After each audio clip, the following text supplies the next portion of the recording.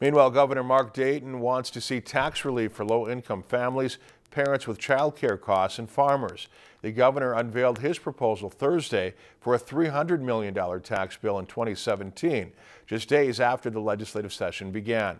But Dayton's vision for how to dedicate part of a $1.4 billion budget surplus to tax relief will hinge on Republicans who control both chambers of the legislature. Dayton is aiming to expand a child care tax credit to 95,000 more families and increase the yearly credits for low-income earners. It would be the first tax bill in years if it's passed. Dayton vetoed a similar package in 2016 due to a costly wording error. House Tax Chair Greg Davids says he likes some parts, but says Republicans will do it differently.